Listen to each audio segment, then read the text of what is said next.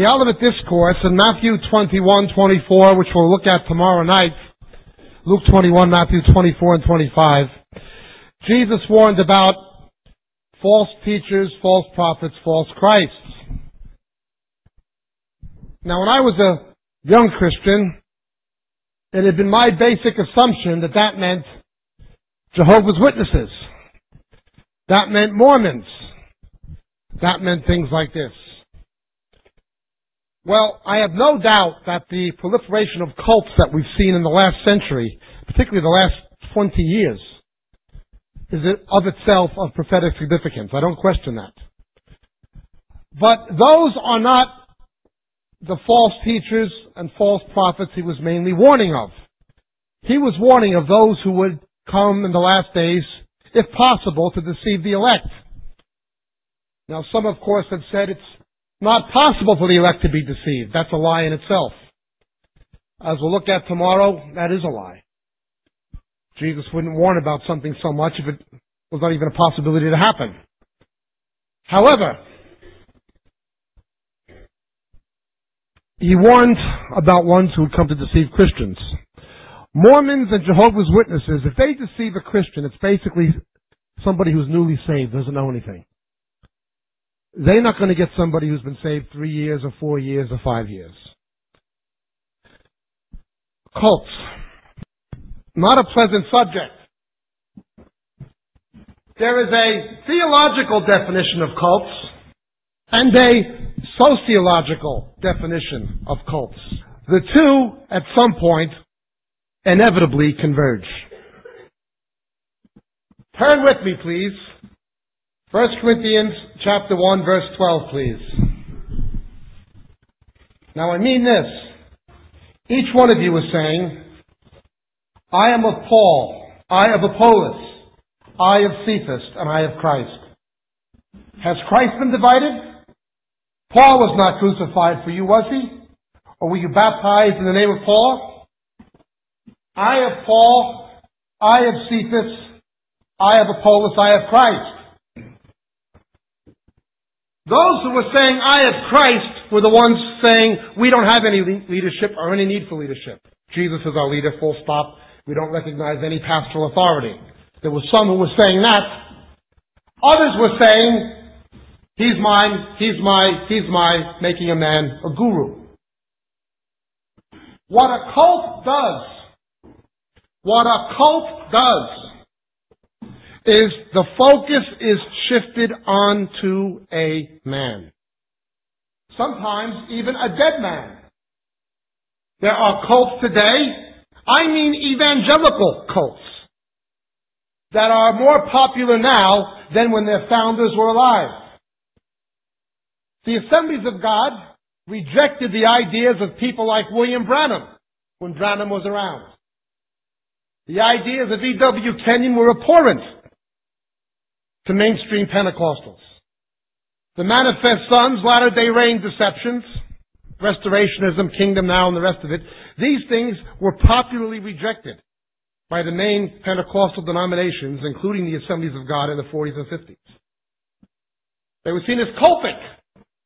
Now, these same things, once seen as cultic and heretical, have become increasingly mainstream. And there are people today who are Branhamites. The leader of the cult could be a dead person. But what we're talking about tonight are not Jehovah's Witness cults or not Mormon cults. We're talking about cults where people believe the true gospel. When somebody is saved through one of these groups, there's a problem. When a Mormon is saved, no problem. Joseph Smith was a false prophet. The whole Mormon church is gone. It's a lie. Forget it.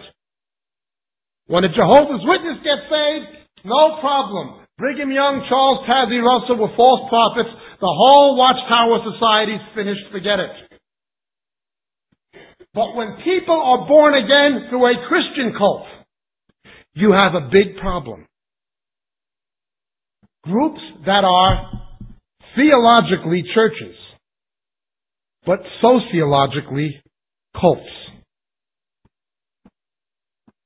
Eventually, these groups, which are theologically churches but sociologically cultic, eventually they become heretical.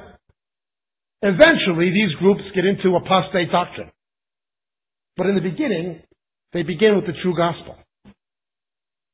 When somebody is born again through one of these groups, the leaders or the leader has a tremendous amount of spiritual and psychological influence and even control over the person.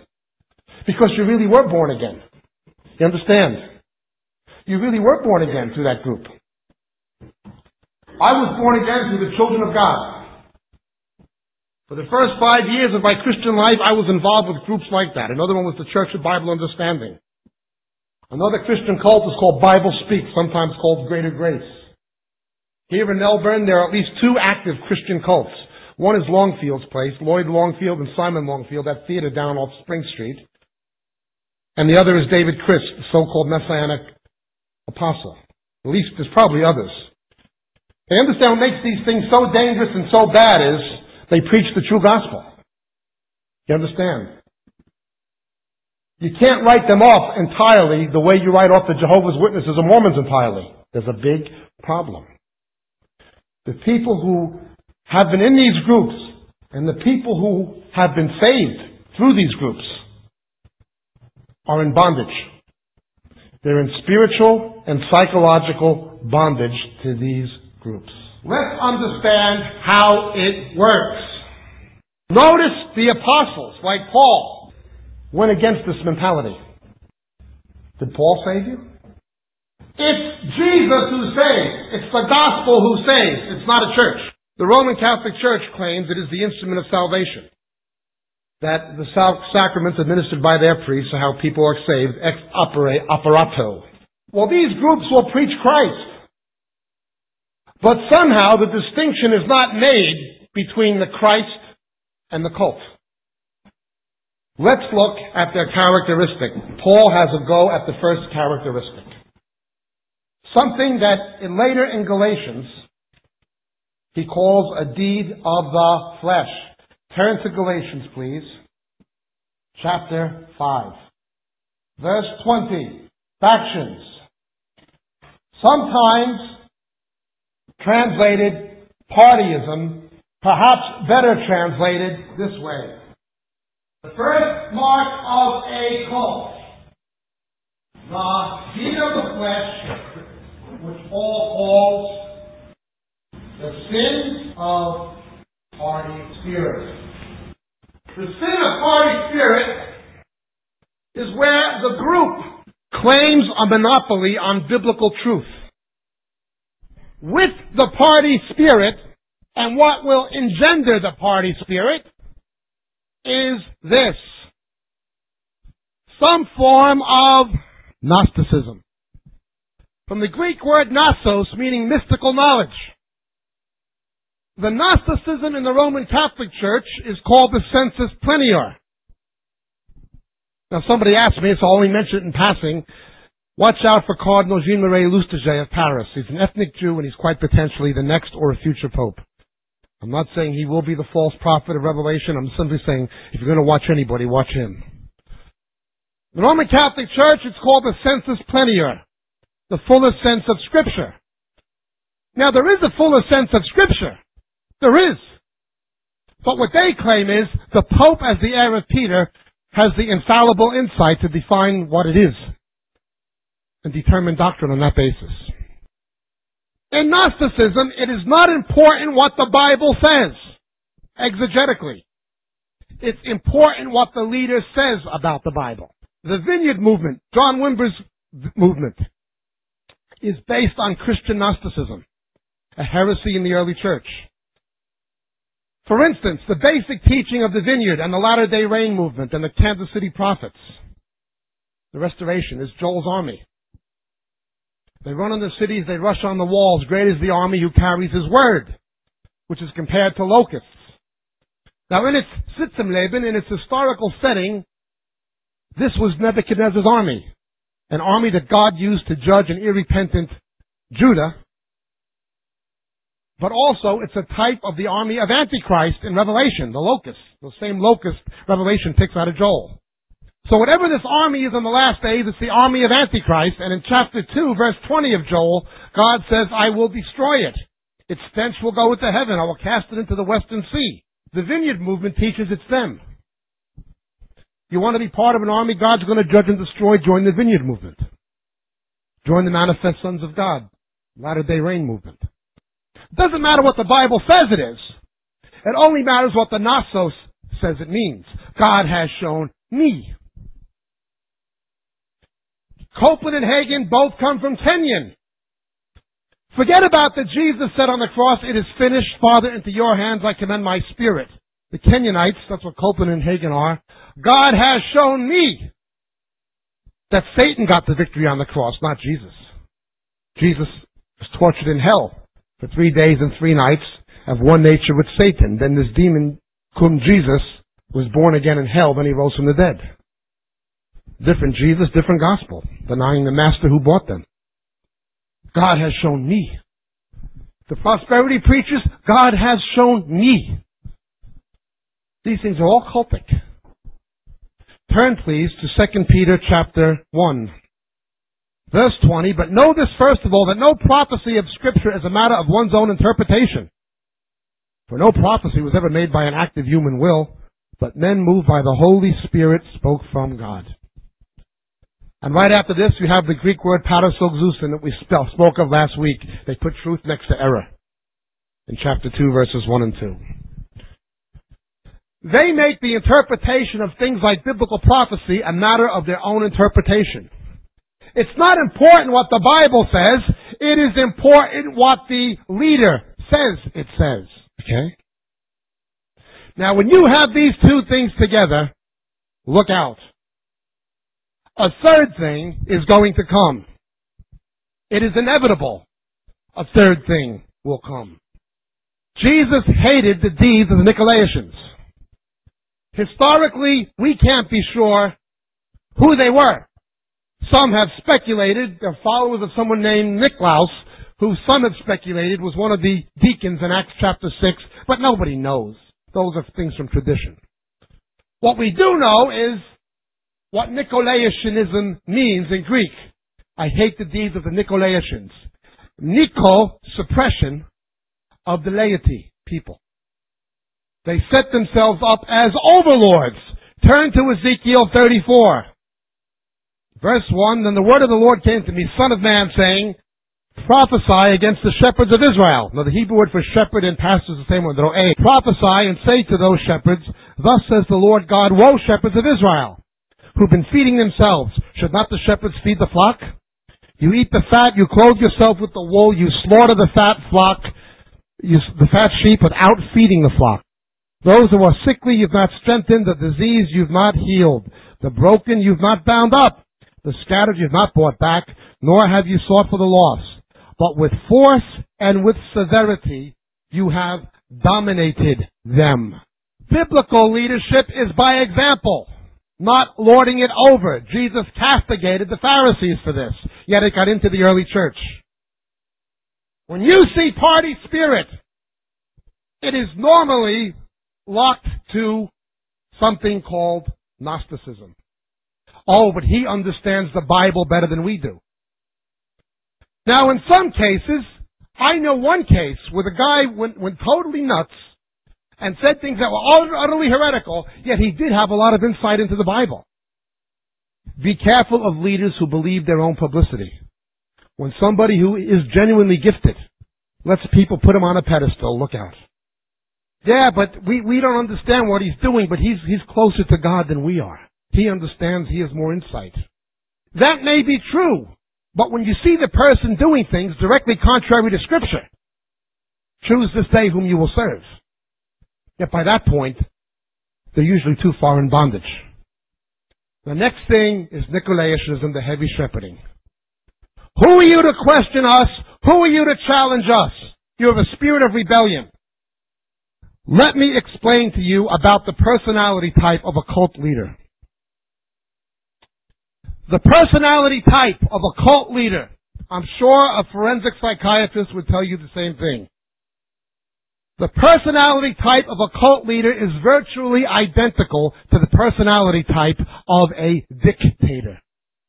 There have been forensic psychological autopsies on many dictators, including Adolf Hitler and Joseph Stalin. One thing, when they when, when the team of psychiatrists who did the forensic analysis on the personality of Adolf Hitler and Joseph Stalin, they did this in the 1940s for the British and American allies.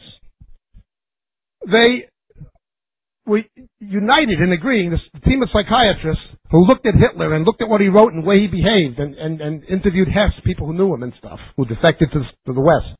Neither Hitler nor Stalin would have had the guts to fight in the Battle of Stalingrad or the, or the Battle of the Bulge. They certainly would not have had the guts to do in concentration camps what they had others doing. You understand? Cult leaders are like dictators. They are personally insecure. A cult leader is a personally insecure person who surrounds himself by others more insecure than he is so that he may control them and through them they go to the people. A cult leader will very rarely deal with you without his honchos with him to shout you down. A cult leader will send one of his parakeets who will just basically ape everything the cult leader tells him. The cult leader is insecure, and the people, his agents, his deputies, will always be insecure people easily manipulated.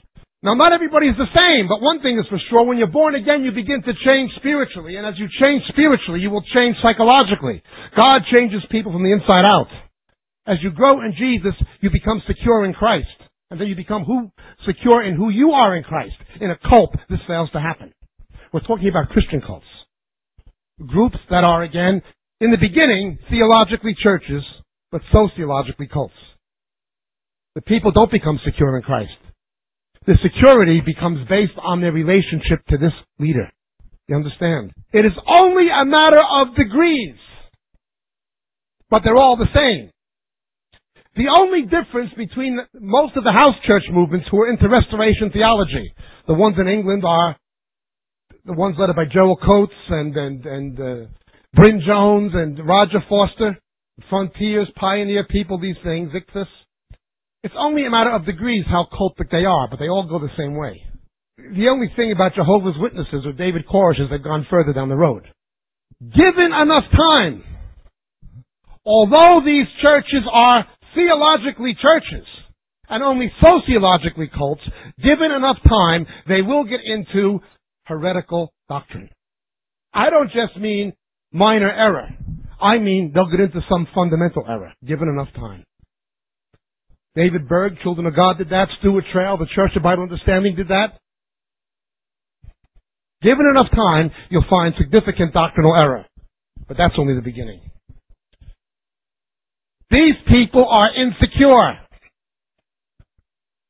So what you will find is this. They will fear people who know things they do not. We should not make a God out of education by any means. Pay attention. Apollos and Paul were formally educated. Peter and John were not. Yet the apostolic authority that Peter and John had was no less than what Paul had. However, as Peter says in his epistle, these things are complicated. It's better for Paul to explain them.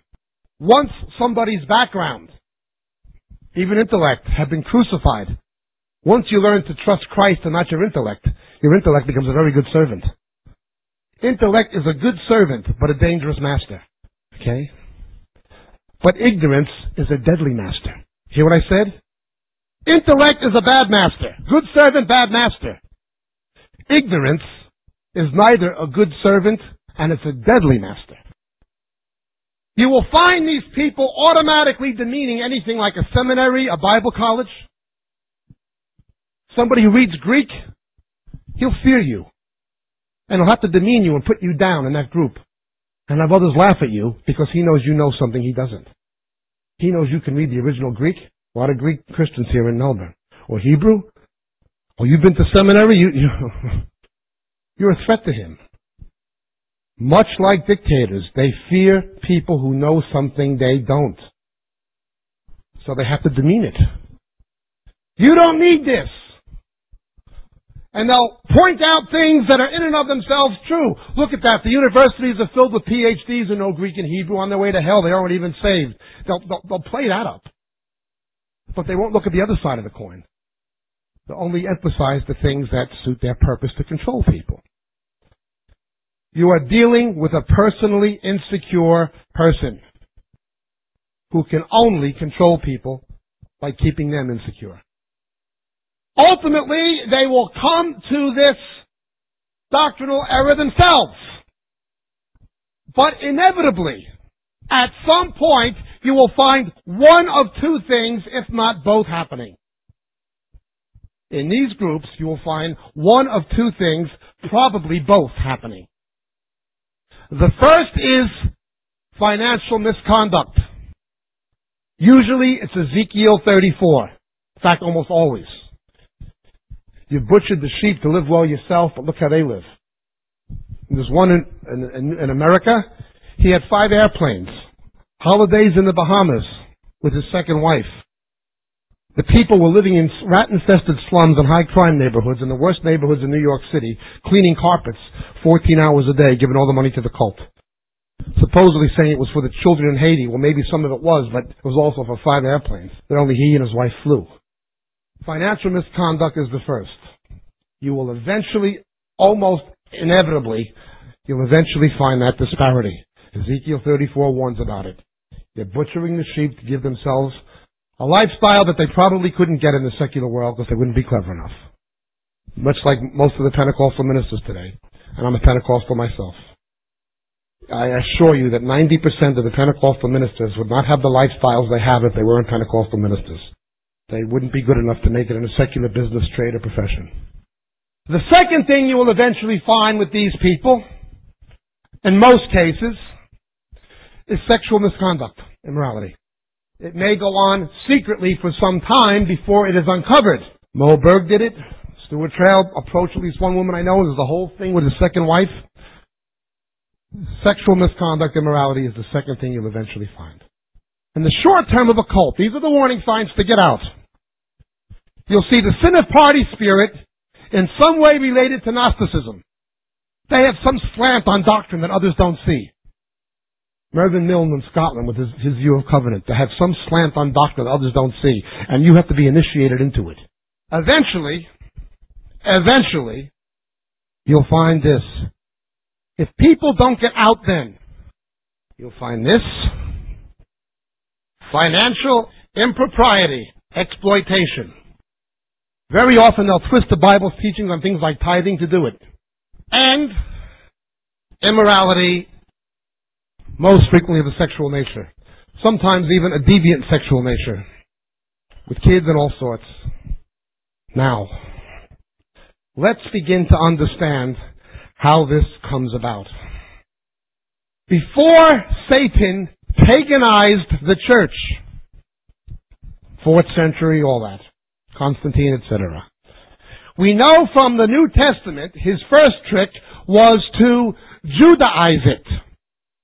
I did not say Jewishize it. It is Jewish, theologically. Israel is the natural root. We should understand the scriptures from a Judeo-Christian perspective, not a Hellenistic one. The Lord revealed His word to a given people, a nation with a given culture, and we have to understand that. It's necessary to theologically understand biblical Judaism to understand biblical Christianity. Jesus fulfills the law. His first seduction was to put people back under the law. Instead of the law pointing to Christ. Now, I'm not talking about observances. My family are Israeli Jews.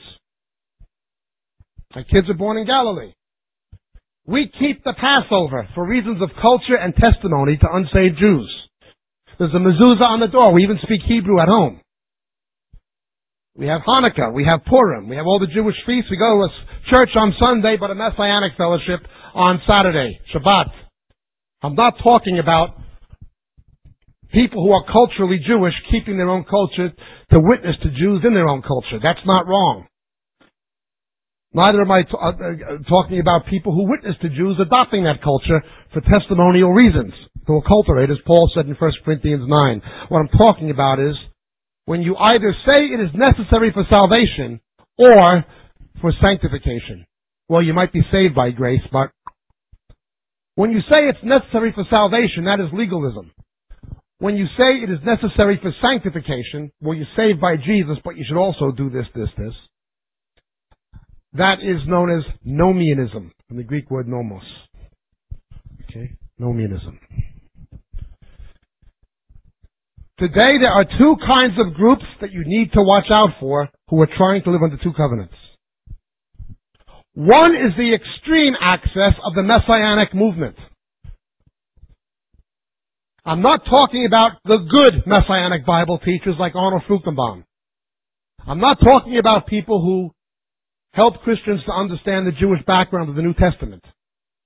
I'm not talking about those who worship within a Jewish cultural framework in order to evangelize Jews. I'm not talking about that, about celebrate Messiah and Melbourne. I'm talking about those who try to make people keep the law in a compulsory way.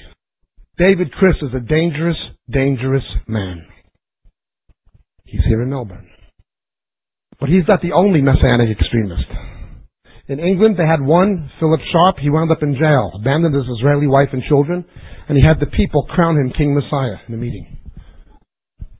Messianic Jew, Jewish rabbi, quote unquote. Some of these guys are nuts. There's some kind of a halakha community up in Queensland. I wouldn't go near with a barge pole. Now again, I'm not speaking against Arnold Fruchtenbaum or Art Katz. I'm not, I'm not talking about them. I'm not talking about the good guys, the ones that are alright. I'm talking about the nuts. But it is not only Messianic Jews who are doing this, who are out to rebuild the wall of partition. There's another group of people who are trying to live under two covenants. Seventh day Adventists. Most of the followers of David Koresh were Seventh day Adventists. Pay attention.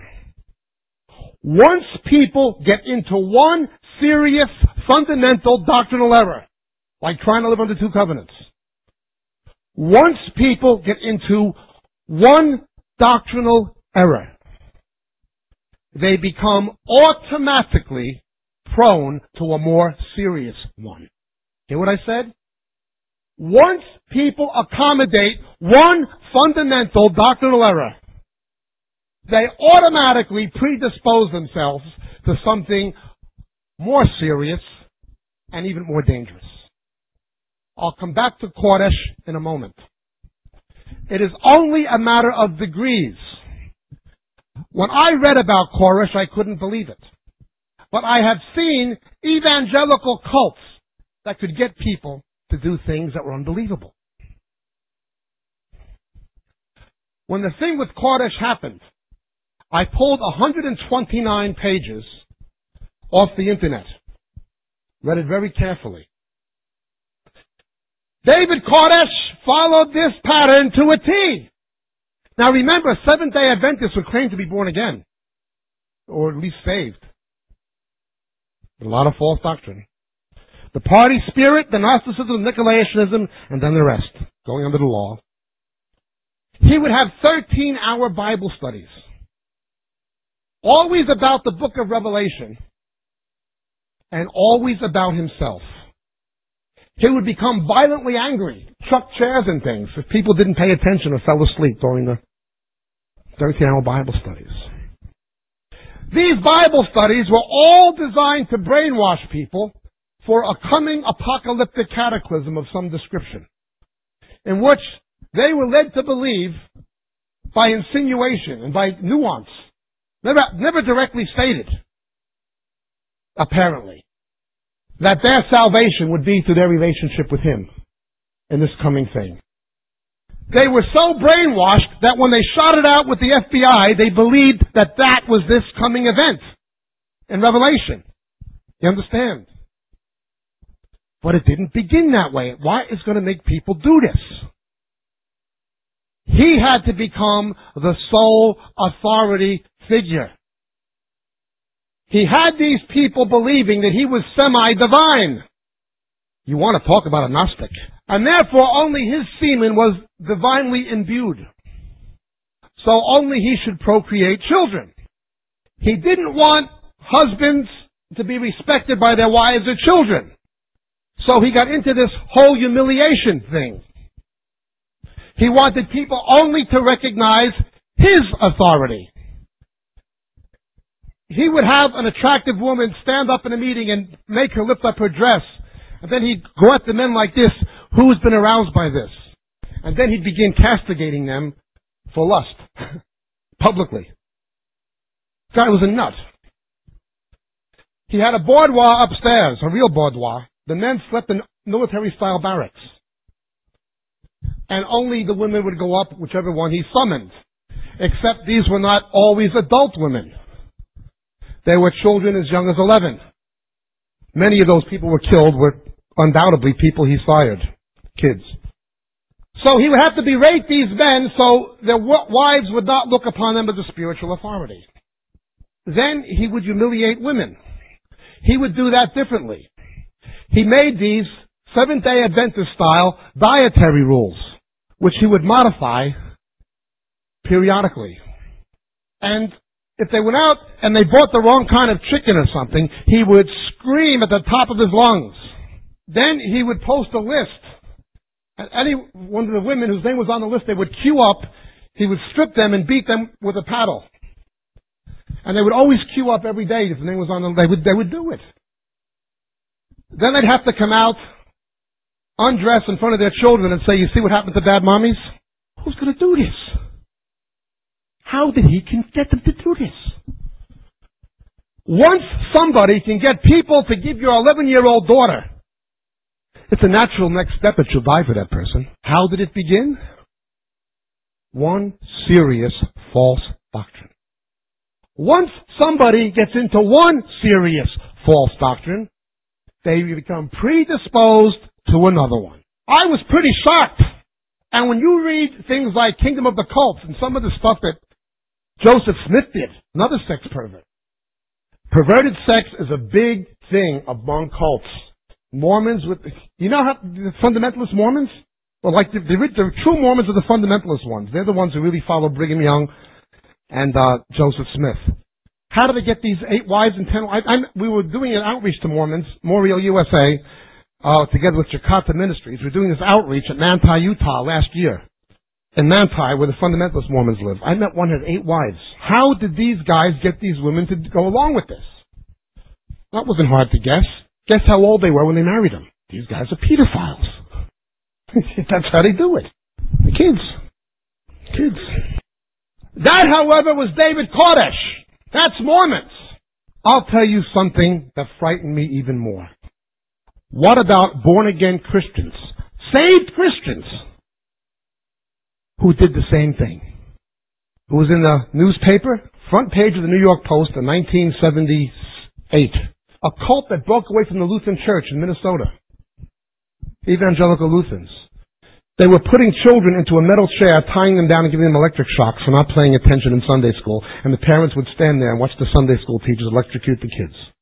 There was another one in California that would beat people to drive the demons out of them. And the people would allow themselves to be beaten. But this is the most shocking one. There was a young girl in England who was a law student, came to a few of our Bible studies.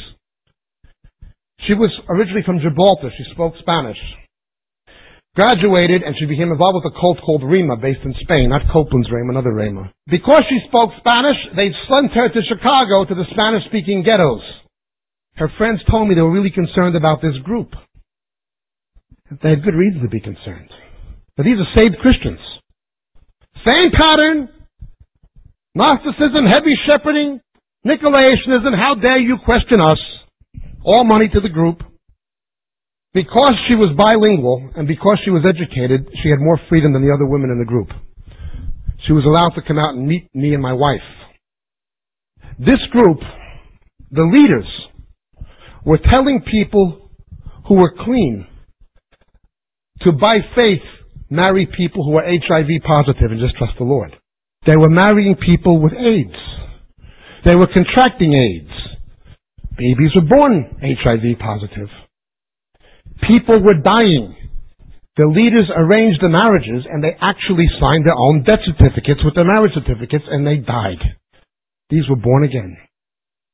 I took her to meet my wife. I talked to her. I phoned her parents in England. I took her to this rescue mission called Pacific Garden Mission. I said, lock her up. Don't let her out of here. I'll be back tomorrow. I gave him 50 bucks or whatever. And I got an airline ticket back to England. And I took her to O'Hare Airport and I, after calling her parents, and I said, if I ever get you back on this side of the Atlantic again, lady, that's 12 and a half extra wide. Guess what I'm going to do with it? They were telling people to marry people who were HIV.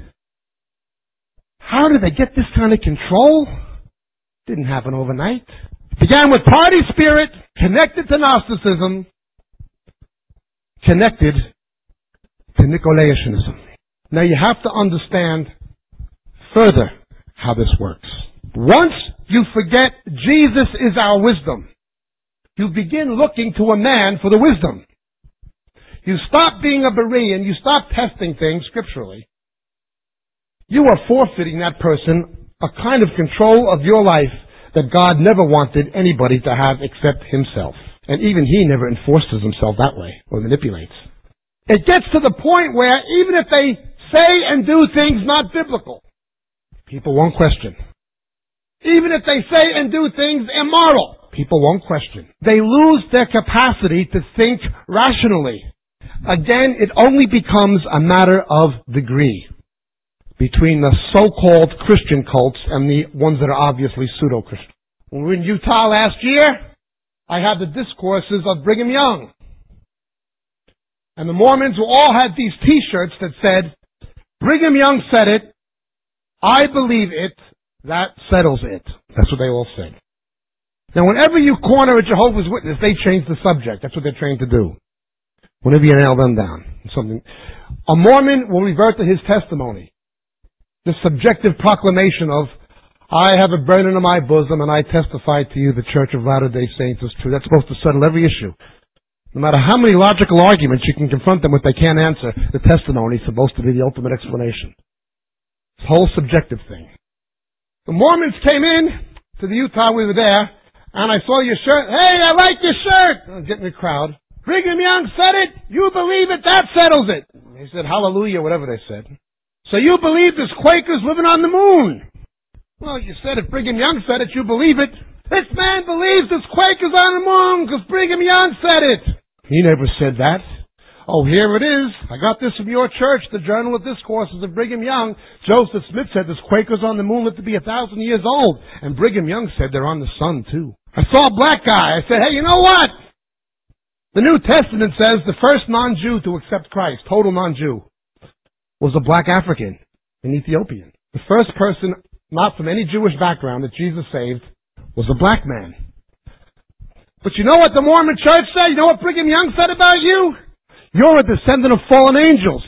You're ugly, mischievous, and depraved, nigger. Who do you want to follow? Jesus who loves you? Or a Mormon who says you're ugly, mischievous, and depraved and a descendant of fallen angels and calls you racist names? Here, Brigham Young said it! You believe it, it's on your shirt! This man is ugly, mischievous, and depraved because God made him black. You know what the Mormon said? I testify to you I have a burning in my bosom, and I know the Church of Latter-day Saints is true. You know what I said to him? And I have a burning in my bosom, and I testify to you, I know this Quakers are living on the moon. Logic goes out the window. The plain teaching of Scripture goes out the same window. Subjectivism steps in. Three times in First Peter. Three times. Let's look at it. First Peter chapter 4 verse 7. He's speaking eschatologically in verse 7. The end of all things is at hand. What does he say? Therefore be of sound judgment and sober in spirit. Sound judgment and sober in spirit for the purpose of prayer. Remember the video of Rodney Howard-Browne and Copeland? Just get drunk. Don't pray, don't pray. First Peter chapter 1 verse 13. Therefore gird your minds for action. be drunk in spirit? Keep, remain sober in spirit. First Peter chapter 5 verse 8. Be of sober spirit, be on your alert. Your adversary, the devil, prowls like a roaring lion, seeking someone to devour. I was once driving in a 4x4 from Zambezi Valley, Victoria Falls, and the border between Zambia and uh, Zimbabwe, and I was on my way to a place called Bulawayo to speak at this church. And we're going through the bush. This is lion country. We see a giraffe, and the person driving me says, "It's getting dark now. This time of night, lions stalk that kind of giraffe." So I'm looking out for lions. All of a sudden, there goes a wheel. Be sober in spirit. The lion's trying to get you. Boy, if I ever felt like getting drunk, it was then. if I ever wanted, I ever wanted some whiskey, it was then. This was no Tarzan movie. This was the real bush in real Africa with real lions. It was getting dark and I was scared. Oh, admittedly, I could only say two things. Lord Jesus and Jack Daniels. But the last thing I needed to be was in an inebriated state where I wouldn't be vigilant. Three times Peter says, be sober. Paul warns, but you be sober. In fact, the same Peter, who they quote in Toronto meetings, they were drunk on the day of Pentecost, says these men are not drunk. They heard the mighty deeds of God, not drunken hysterics. So you show them, wait a minute, the Bible says be sober, repeatedly, not drunk in spirit, as, as Rodney Howard-Browne is teaching. You know, the pastor of Faithland here in Melbourne, he had five friends. He wasn't into Toronto, but he had five friends who were. Five Pentecostal ministers. Some of them I'd spoken in their churches in times past. And they all went into Rodney Browne. I showed them the videos of Rodney Browne in Copeland and Toronto. They couldn't defend what was on it. They knew it was heretical, they knew it was carnal, maybe even demonic. But they still insisted that they were going to go for Toronto and, and go see Rodney Browne. Why? They were not blind, they were willfully blind. These were the leaders, misleading whole congregations. Jesus Christ will hold them accountable, as shepherds it says in Peter, for misleading the flock. Well, what did these people say? Hey, wait a minute. The fruit of the Spirit is ekrete in Greek, self-control. Ekrete. How do you say? Agatia, sorry. It's the, blame the seminary. You gotta really know your Greek in Melbourne. So you show them what it says in Peter, be sober, be sober, be sober. You're saying be drunk, be drunk. What did they answer? Did they answer biblically? No. Did they answer logically? No.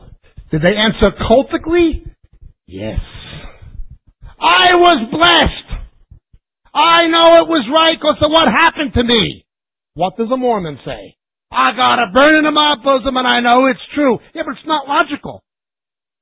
Logic goes out the same window with the Bible.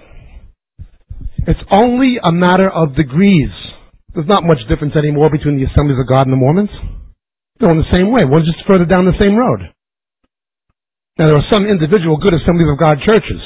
I think they need to come out, in my opinion. They're going down the same road.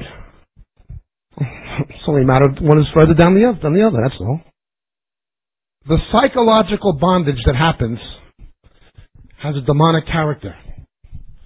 When the people leave, they are automatically ostracized by the other people still in the cult. It is like Catholicism. You left the one true church. Mortal sin, go to hell, go directly to hell, do not pass go, do not collect $200. That's it. The unpardonable sin. You've touched God's anointed. God's anointed is not Rodney Browne. And it's certainly not Brian Houston. Neither is it David Chris or Lloyd, what's to say, Longfield.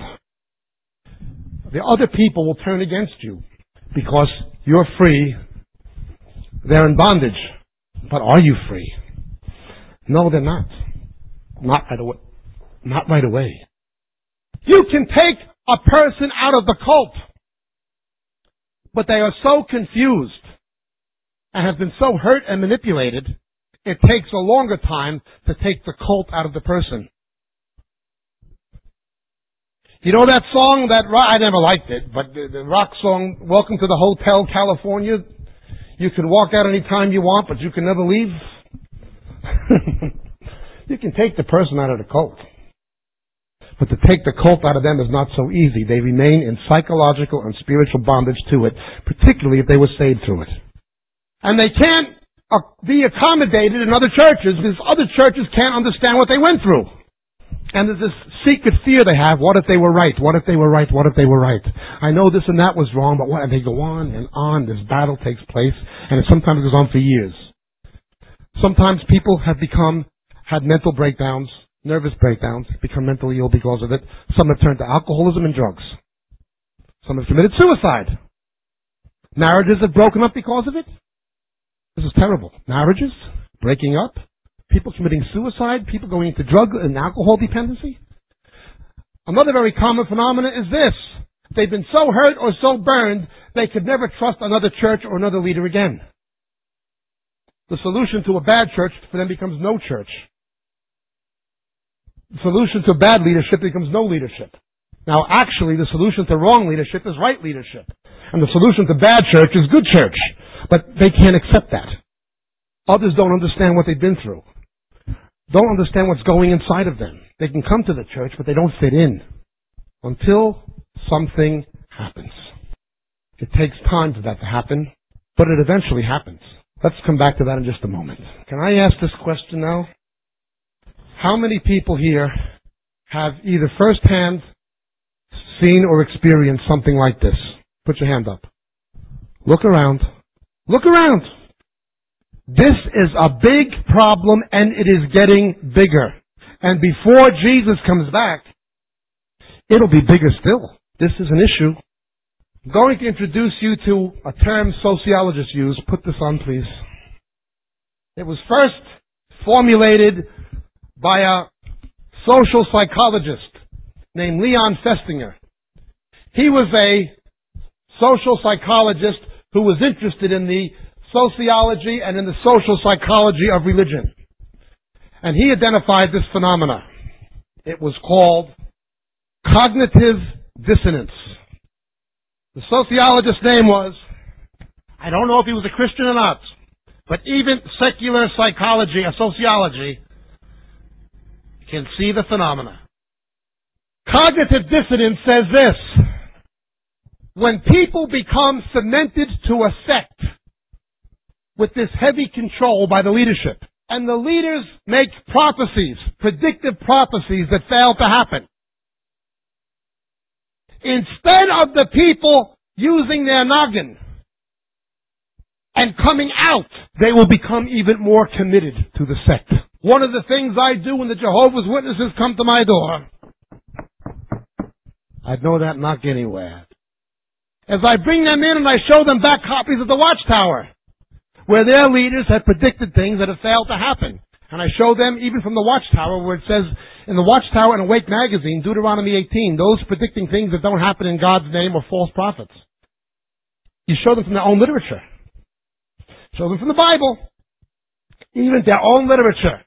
Logic goes out the window. The Bible goes out the window. They can't see it. What do you do with the fact that men like Gerald Coates predicted an earthquake in New Zealand never happened? The Elim cult, all 44 churches were taking survival course lessons. Or something like that with the Ian Bilby.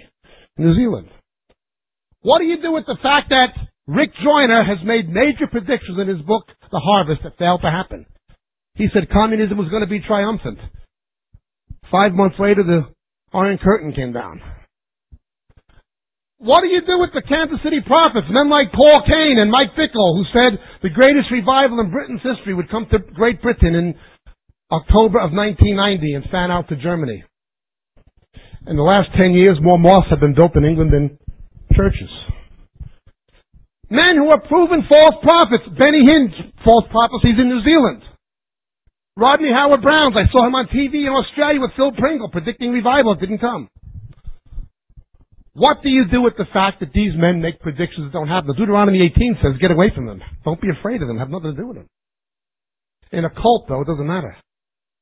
Is there any difference between what the Jehovah's Witnesses do Or the Mormons, because their, their leaders made false prophecies too. Is there any difference between the Jehovah's Witnesses and the people who will still listen to Benny Hinn? Rodney Browne? No, there's no difference. No. They've only gone further down the same road. This is known as cognitive dissonance. Even secular psychology can identify it. Even the world sees it for what it is. They become more committed to it. They'll always make an excuse and defend it or set another date or something like this. And then when that doesn't happen, we got that one wrong. Same as the Jehovah's Witnesses. These guys are predicting revival for years. No revival comes, so they'll get another one. When Toronto doesn't come, we'll get the Alpha. When Alpha doesn't work, we'll get the we'll, we'll get the Pensacola. When Pensacola doesn't work, we'll get Pepsi-Cola. When that doesn't work, we'll try Seven Up. It doesn't matter. Get some gold teeth. It'll always be next fad. People will swallow anything. Why? Because they have become incorporated into a cult. It is cultic. You understand? It's following men. Yeah, but the Word of God says I shouldn't listen to you anymore. Doesn't matter to them. They're in bondage, and it's terrible.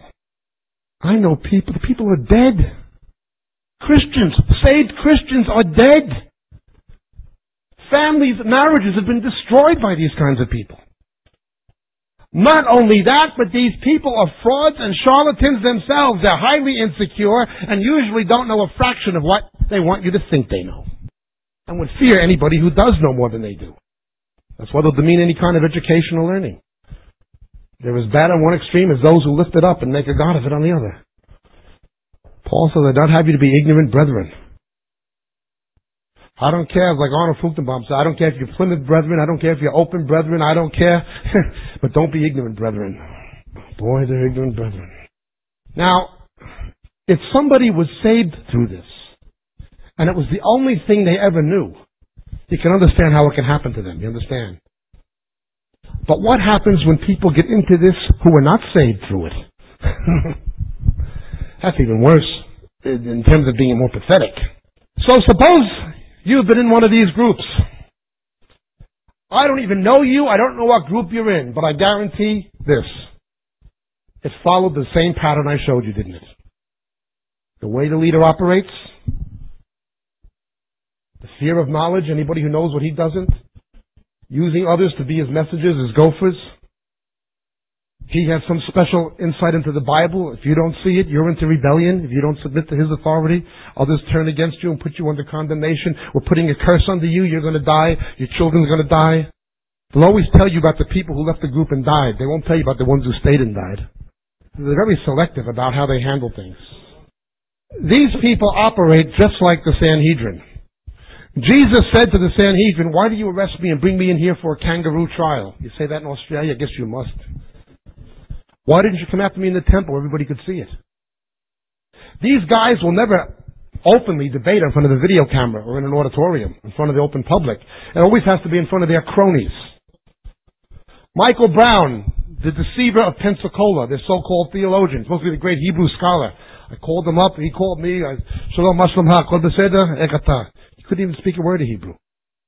He came to Israel some years earlier he said that the national forest fires, which destroyed 22% of Israel's forests, was the God's emblem of the Holy Spirit's fire being poured out on Israel. He had people up all night waiting for the second Pentecost event. Now he's gone to Pensacola. He was supposed to debate me about Pensacola. I said, okay, we make the date. It's supposed to be in a, in a church near New York, midweek, so people could come from any church without missing their own church, at a neutral venue, midweek. He finds out I have the Joe Chambers videos where Kilpatrick is caught lying about the vibrating girl and all this. Right away, he cancels the debate. He demands it be held at a Pensacola place on a Sunday night. Why? Because cult leaders, they'll always only fight you on their own turf. It'll always be the Sanhedrin putting Jesus on trial. They'll never stand openly. It has to be only where they control people, who they can get on. You understand? They'll, never go into a fair fight. They will never go into a fair fight. They don't have the ability or the guts. These are insecure people. That's how they operate. You're afraid of a tiger with no teeth. These people are frauds. Sometimes it takes months. sometimes it's even taken people years to take that person out of that central role in your life and put Christ in that role instead. These people are in unspeakable bondage. And unless you have been in that bondage, you don't understand where they're coming from. You won't be able to, even to grasp what their problem is. Why can't they fit in? Not only that, they'll even say a lot of true things. The church is lukewarm. The cult was more zealous. You're Laodicea. Well, that's true. That's the danger. They're not just telling lie lies. They're telling Satan's lies, perversions of truth. But look at the results. Look at the damage. You'll find it every time. They begin as sociologically cults, theologically churches. Give them a few years, not more than ten. Then you'll find heresy. You'll find financial corruption. You'll find immorality. But maybe at the end of it, you'll find Jesus. If you are in bondage to one of these groups, it says in 1 Corinthians, 2 Corinthians chapter 7, verse 17, where the Spirit of the Lord is, there is liberty. By virtue of the fact that you are in bondage tells you that's not God's Spirit. Where the Spirit of the Lord is, there is liberty. By virtue of the fact that you are in bondage, that tells you it's not of God's Spirit. It is a different spirit. Party spirit. A deed of the flesh. A sin. It's the opposite of the fruit of the Spirit. The deeds of the flesh are the opposite of the fruit of the Spirit. You're in bondage. Might take a couple of months. Sometimes it's even taken people a couple of years. But the sum of the matter is this. You keep your eyes on Jesus. And eventually, you have that bondage. One verse will become a reality like you've never known. If the Son sets you free, you shall be free indeed. God bless.